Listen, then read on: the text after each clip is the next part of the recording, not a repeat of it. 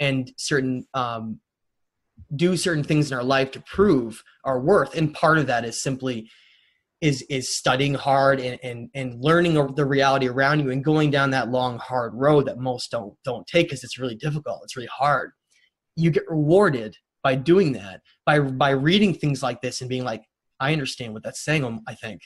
And other people saying i have no clue and that's that's the difference. And, and then those people that are understanding it are the same ones that are reaching higher states of consciousness. It's all connected. It's all it's all connected in this. And so essentially what the what the Atrahasis says is and, and what a lot of other other cuneiform writings say from mesopotamia is that somewhere around 200,000 years ago roughly and that in the human genome if you if you look at the sequencing and the age and what they think maybe how, how far back it was that's some also some agreement that's been made there too in this in this time frame doesn't mean it's exactly that but it's it means a lot longer ago than we've been told oh, yeah. you know the whole human story is is given to us in, in something like 10 to 20,000 years whereas yeah. really it's several hundred thousand years quite a bit longer and that's a long time think about what you could do uh, civil civilizations could do in 10,000 years and think about what civilizations could do in 200,000 years comparison. There's so much of human history that's been left out and suppressed and kept away from us that we don't know about, okay? Now, the first thing I want to bring up is that these beings on the right, Enlil and Enki, these who's also who was originally called Ea, they they're not simply metaphors for things like the sun and the moon and the planets and uh, the different um, these are not just the uh, the archetypes of human nature. That's something that the experts tell everyone in everyone, and a lot of people, even people who are very smart, will say, "Okay, that's fine. They're all just made up." Then how could every culture all across the world echo the same exact information, knowledge, and the certain traits that these that these beings have had? I'm not saying that these beings have physically been involved in every single culture and like telling them what to do and handed them. But i think they were all based in on on ancient ancient influences that have been able to carry through. Because and we're going to talk about what I, what I, what that means um, as we go on but so they these beings came here again like i said the Igigi were didn't want to work anymore. They needed some kind of a physical being to work in the third dimension to labor here in this planet because they they were very interested in two things. One, they were very interested in, in the, harnessing the energy of our planet because I think some planets, depending on their their specific electromagnetic energy and and the capability of what they have, some have far more energy than others. And if you're an energy being or you're just trying to harness energy, that'd be one of the things you'd be really interested in is some kind of a crystal energy grid, which is what they say existed here long long ago by by other civilizations that had come here, you know, way before they arrived. Okay. And we're going to talk about that as we go on. But so here you have the situation where you have these these these hominid beings and they've been called it looks like a combination of neanderthal and denisovians these are and these were absolutely the early hominids that were here but they're not simply just an evolved ape there was an, there was other steps and stages involved that that also had a, had a hand in in them reaching the next stage that they were because a Neanderthal and a Denisovian is is much more advanced than than a than an ape or a gorilla. I think part of it we've been made to believe that maybe they're they were just like apes, but they really weren't. Actually, Neanderthals could um, could they were much stronger and and had other attributes that we don't have that we have we actually have lost since then. So these these these these Anuna beings, these Anunnaki that are here, they trying to figure out what to do. How do they make a being? How do they make a worker that they can do this work? So they, because they're advanced hominids themselves, they needed the ability to to have some similarity so that they could use their genetics to jumpstart one of these beings. Okay. So they took these Neanderthals and Denisovians, and like I said, this this question mark right here, that's where that comes from. That's why you have a doubling of brain size out of nowhere, and why you have these really strange incursions into the human genome. So they essentially they essentially jump started the, the human genome. And today, and if people don't believe that, I'll tell you, to, I'll ask you to look at one piece of evidence only. Ignore all this if you want to. Go study our genes.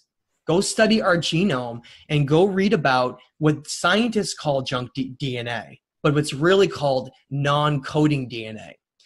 You can manipulate the past information all you want, but, but DNA holds secrets that can't be um, ignored or suppressed in terms of hiding it. It's there, and if they look, they're going to find it.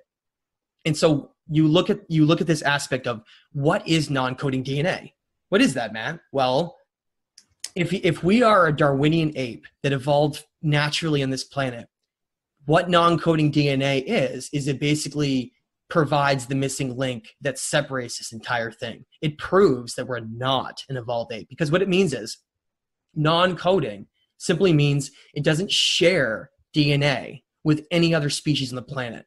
That's simply what it means. So if you think about, oh, well, we share a certain percentage with cows and monkeys and fish, and look, see, we're just like them because we share this percentage.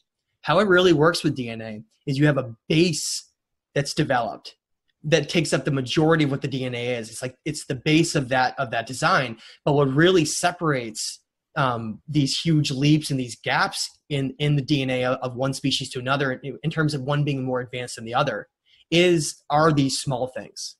And that's why when you look at the percentage of non-coding DNA, it may not be huge, but it still doesn't doesn't represent any other species on the planet. And it is the reason why if you take the combination of the fact that our brain is so much longer, longer, larger, and we have this DNA, it shows you the fact that we became separated from the animal kingdom a long time ago, hundreds of thousands of years ago, um, to be more to be more specific.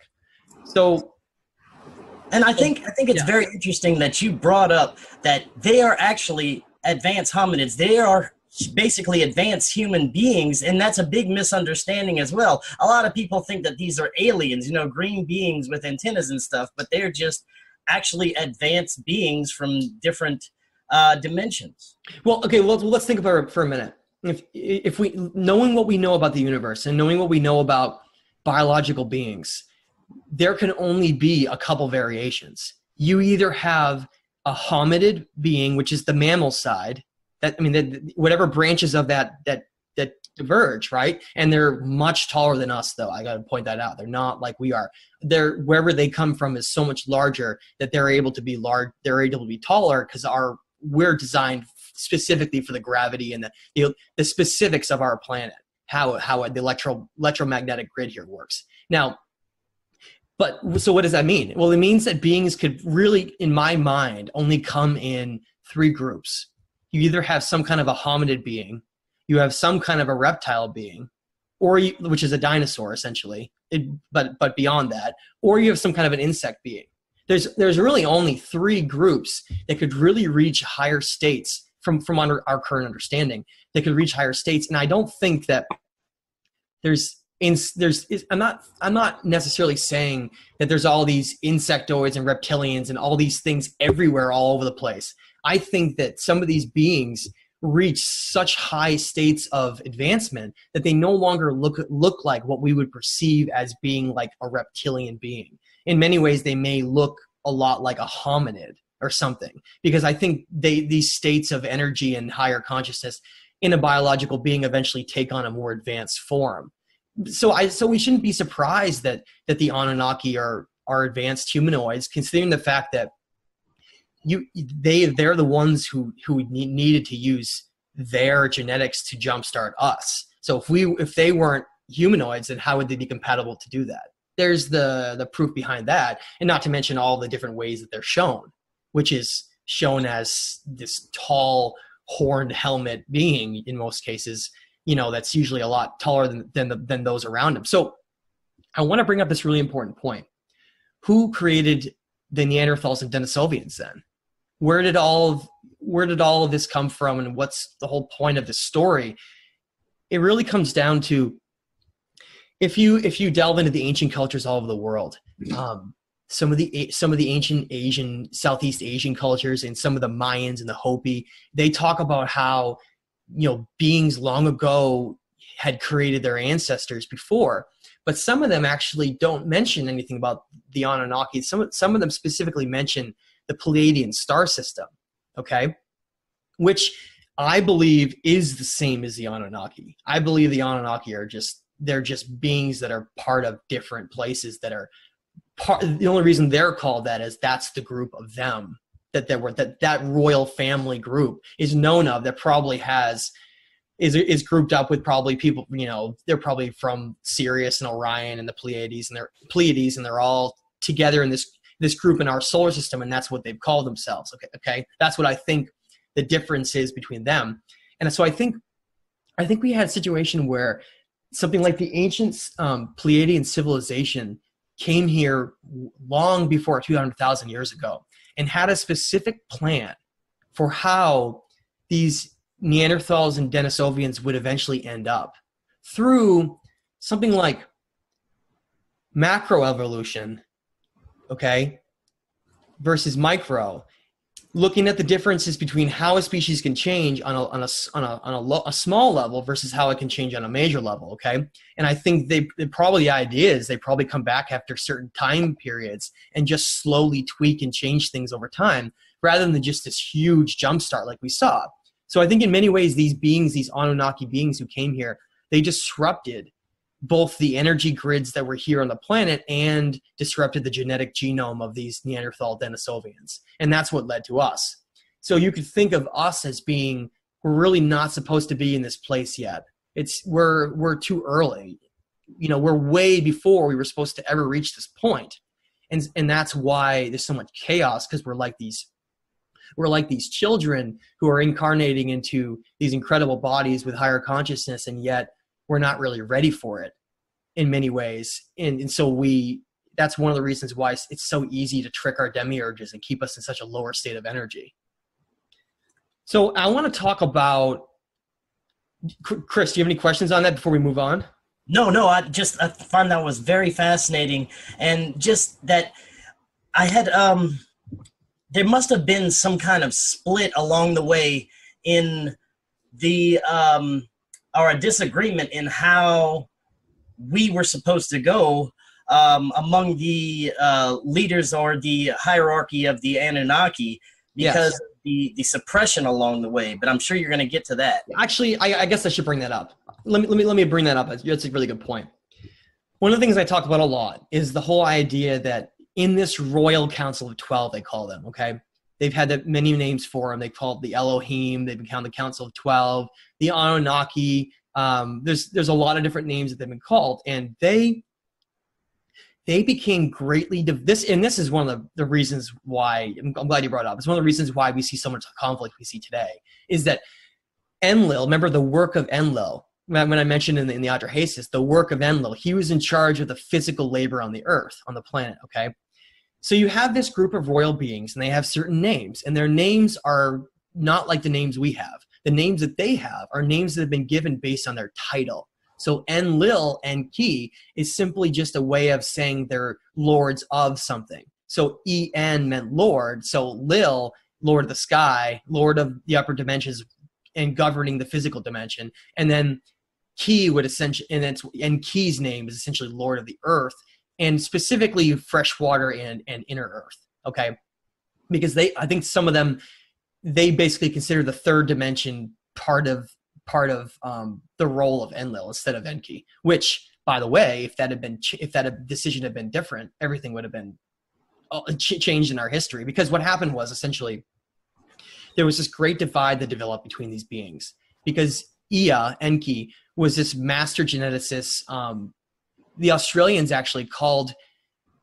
They actually said he was um, the great serpent and one of the great creators of the universe. So we don't even know how powerful these beings are. But but Ea Enki, the great serpent dragon, he was this master geneticist. And and the, one of the amazing things about it is that I found so fascinating, no matter how many times I mention it and, or read about it, is the idea that that Enlil wanted us to be designed, and, and some of the others wanted us to be designed as, designed as simply a primitive worker. But Ea, with the help of, um, of Ninmah, ended up designing us as a being that could even reach a higher state of energy than them. Try to wrap your head around that. That's why it sickens me so much to see what goes on in our world because we if we're able to go down this at the end of the show we're going to talk about human states of energy and